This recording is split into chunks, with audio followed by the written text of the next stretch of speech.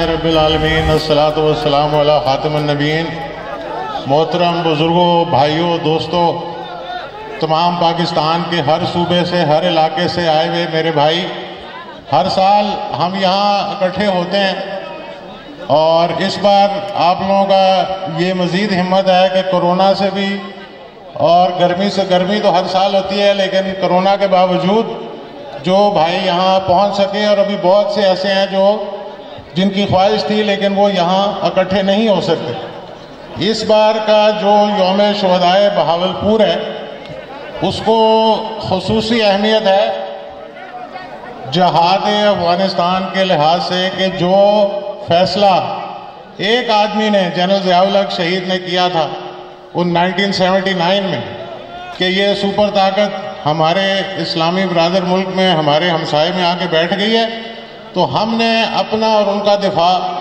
करना है। और फिर 12 साल का जिहाद 15 लाख लोग शहीद हुए और रूस वहाँ से मार खा के और टुकड़े टुकड़े हो के जितने, जितना कब्जा था उनका बर्लिन से, दीवारें बर्लिन से लेके तेईस ममालिक आज़ाद हुए, उस जिहाद की बरकत से।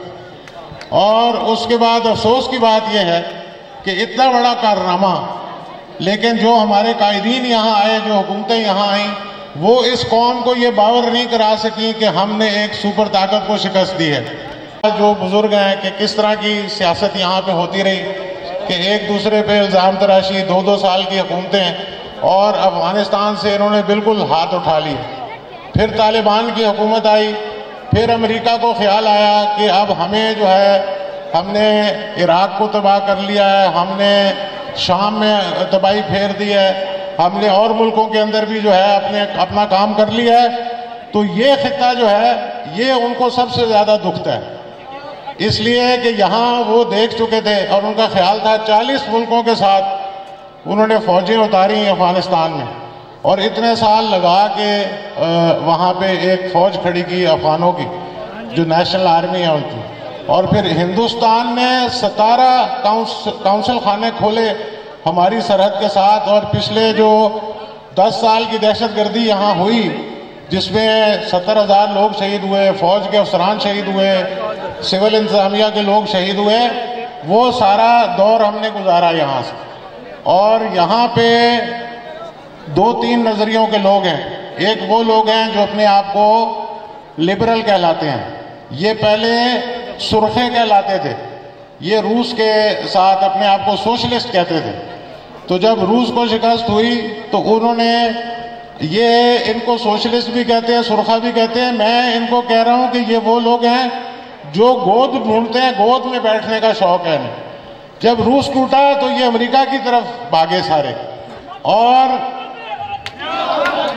फिर उनके इशारे पे यहाँ के लोगों को बदजन करना शुरू किया। अभी जो मैं आपको पैगाम देना चाहता हूँ, वो इंतहाई ज़रूरी है कि आप देखें, अभी चंद घंटे हुए थे कि काबुल फतेह हुआ तो यहाँ इंडिया के चैनल आप सुने, उनका रोना धोना ही बंद नहीं हो रहा कि हमने वहाँ फौज भेजी, हमने वहाँ उनके लिए डेवलपमेंट के काम किए, लेकिन हमारा कहीं नाम ही नहीं है, हमें कोई पूछ नहीं रहा। उन्होंने कोशिश की तालिबान के साथ बातचीत करने की, लेकिन उन्होंने कहा, जी, हमें पता है, आप हमारे साथ हमदर्दी नहीं, आप पाकिस्तान की दुश्मनी में आप हमारे साथ दोस्ती बढ़ा रहे हैं। और ये जो जहाज़ इस इस वक्त हमला कर रहे हैं, हमारे पे बमबारी कर रहे हैं, ये हिंदुस्तान के जहाज़ है। अभी कल भी उन्होंने उनको मुँह तोड़ जवाब दिया, इंडिया के चैनल आप सुने। लेकिन हमें दुख होता है अपने लोगों पे, कि चंद घंटे हुए हैं और सवाल किस तरह के आ रहे हैं, तालिबान जी पाकिस्तान के साथ क्या करेंगे? तालिबान ये तो नहीं करेंगे, तालिबान औरतों के साथ क्या करेंगे? उन्होंने 20 साल का जहाद करके 40 मुल्कों को शिकस्त दिया, उनको सांस तो लेने दो। उनको देखो तो सही, उनकी मुश्किल क्या है? उनके मसाइल क्या है? ये फिर अपने आकाओं को खुश करने के लिए। भारतीय मीडिया रो रहा है कि हमें कोई पूछ नहीं रहा, उनका एक फौज का सबक वहाँ अफसर बैठा था। उसने कहा, जी, हमने देखें, ये ये किया, हमें कोई पूछ नहीं रहा। उसने कहा, आपको अमेरिका ने दावत दी थी कि अपनी फौज उतारें, अफ़गानिस्तान में तो आपको ठंडे पसीने आ गए, आप ये सोच के ही डर गए तो आपको फिर कौन पूछेगा? तो दुश्मनों की साजिश को समझें और अपने लोगों को, मैं कहता हूँ कि कुछ अकल के नाखुन लें, टीवी चैनल्स पे इस तरह की गुफ्तु कर रहे हैं कि उनके जहाज़ की, उनकी कुर्बानियों की, कुछ उनकी उनकी हमत अमली देखें, काबुल में दाखिल नहीं हुए, जब तक उन्हें पता नहीं चला कि जानी नुकसान नहीं होगा। वो रुके रहे बाहर। और कई जगहों में उन्होंने कब्जा करके, फतह करके खाली कर दिया कि अगर यहाँ बमबारी हुई तो ना हक जो है, वो लोगों का जो अफ़गानिस्तान अफगानी जो हैं, वो मारे जाएँगे। तो आप वो जो 40 मुल्कों को शिकस्त दे सकते हैं और इतना अरसा इंतज़ार कर सकते हैं, दूसरी नस्ल उनकी जवान हो गई है तो उनको नहीं पता उन्होंने क्या करना है अपने मुल्क के साथ, अपने हमसायों के साथ। और पाकिस्तान का जो किरदार है, ये अफ़गानिस्तान का मामला हमेशा से महफूज हाथों में रहा है। पाकिस्तान की मुसल्ह अफवाज इसे देखती रही हैं और बेहतरीन हमत अमली के साथ उन्होंने इसको पाया तकमील तक। अब जो हमारे दोस्त हैं, जो जनरल ज़ियाउल हक के चाहने वाले हैं, सोशल मीडिया पे मैं देख रहा हूँ, हज़ारों के हिसाब से मज़ा मज़ा का खेज, वीडियोज़, मज़ाक उड़ाने वाली वीडियोज़ जारी हो रही हैं। आप इसको आगे ना भेजें। जो उनके हक में, उनकी तारीफ़ में बात उनका जज्बा जहाद उनकी कुर्बानियाँ, हमारी कुर्बानियाँ पाकिस्तान की। उसके बारे में बात करें लेकिन वो चीज़ आगे ना फैलाएँ जो हमारे दुश्मन इस वक्त चाह रहे हैं कि जो ऐसी बदमजगी पैदा की जाए आपस में गलतफहमियाँ पैदा की जाए। लेकिन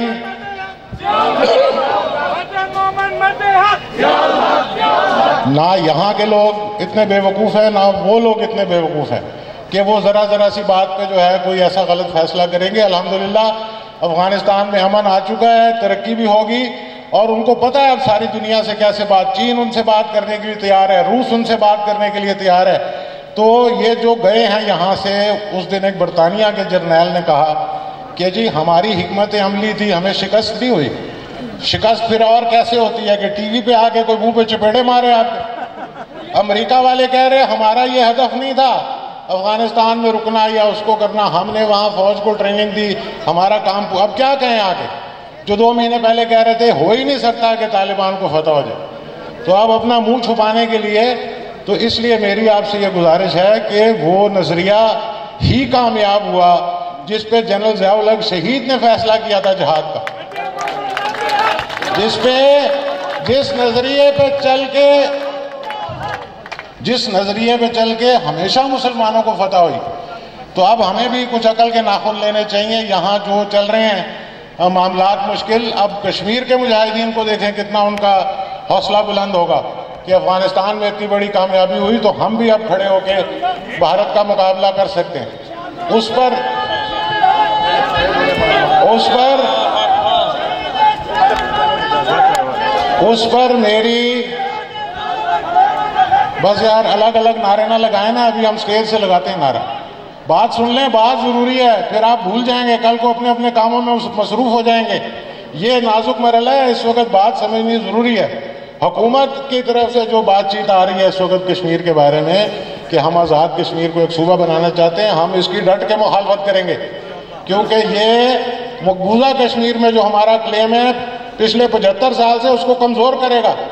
आपका ख्याल है वो international line of control international border बन जाएगी तो वहाँ फौज नहीं लगानी पड़ेगी। फौज तो फिर भी लगानी पड़ेगी। तो हम अपना क्लेम क्यों ख़त्म कर रहे हैं? उसमें थोड़े लोगों ने कुर्बानियाँ दी हैं। वहाँ की माओ बहनों के साथ कम ज्यादतियाँ हुई हैं। जब आपको ख्याल आया कि इसको हम सूबा बनाते हैं, बिल्कुल इसकी हम इजाज़त नहीं देंगे। जो कश्मीर आज़ाद होगा, जो यूनाइटेड नेशन का फैसला है, वो अपना फैसला करेंगे, वोट डालेंगे। हम उसी पे खड़े हैं और आइंदा भी इन ताला उस पर हम खड़े रहेंगे। ये जो बाहर से कोई पढ़ा रहा है, उनका हाल देख लें, साथ हम हमसाए अफ़गानिस्तान में क्या हुआ है। तो उनकी पढ़ाई को छोड़ के अब असल मामला की तरफ़ आएँ और पाकिस्तान की तरक्की की बात करें, पाकिस्तान की मजबूती की बात करें। अल्लाह के फजल से पाकिस्तान का दिफा जनरल साहब मज़बूत कर गए हैं, एटमी कुत है इस्लामी, कोई हमारी तरफ़ नज़र उठा के नहीं देख सकता। लेकिन हम लोग जो है, वो बातें सुन के और अपना वो बता रहे हैं इंशाल्लाह थोड़े दिनों में हमने फैसला किया है, मुस्लिम लीग जाउल हक को मुनज़म करने का। आप सबके पास आप सबके पास आऊँगा, फ़ोन पर रबता होगा, आपने हमें तफसील भेजनी है। ये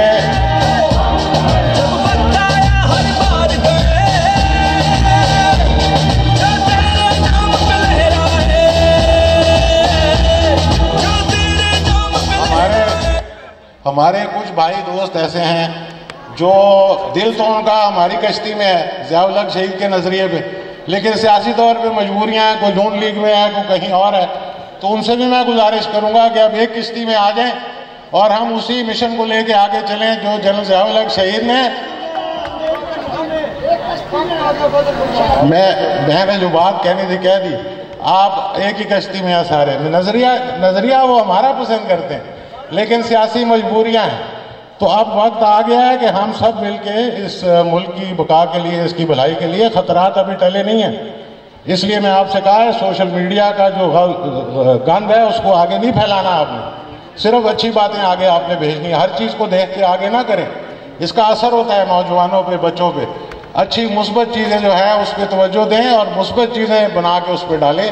और भारत को, और जो पाकिस्तान के दुश्मन हमारे यहाँ बैठ के मीडिया पे और जो बातें फैला रहे हैं, उनको जवाब दें कि आप, आपको अभी शिकस्त देख के भी समझ नहीं आई कि 40 मुल्कों के साथ क्या हुई है जो आप हमें दूसरा बात समझा रहे हैं। तो इन ताला ये सारी बातें आपसे मिलके भी होंगी और इस दुआ के साथ कि अल्लाह ताला हमें पाकिस्तान की, दीन इस्लाम की खिदमत करने की तोफ़ी दे। मैं एक बार फिर आप सबका दिल की गहराइयों से मशहूर हूँ एजाज साहब की तरफ़ से।